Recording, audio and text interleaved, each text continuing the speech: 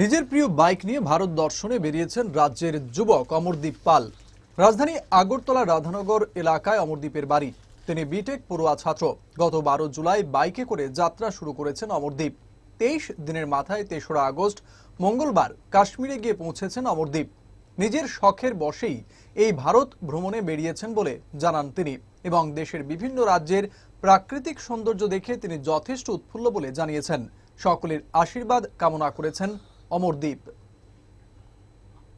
केम true guys मैं आप लोगों को समझा नहीं सकता मैं कितना खुश हूँ, कितना खुश हूँ।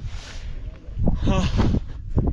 Thanks what thanks to my mom and dad literally मेरे को पता नहीं क्यों रोना आ रहा है बट मैं सोचा नहीं था मैं लद्दाख पहुँच पाऊँगा स्कर्लेट लेके क्योंकि जब मैंने ठीक किया था बाइक को। इतना सारा पैसा दे के मैं सेटिस्फाई नहीं था और ये राइड शुरू करने पहले, शुरू करने से पहले मैं वही सोच रहा था, मैं क्या इस बाइक से राइड करूँ या नहीं।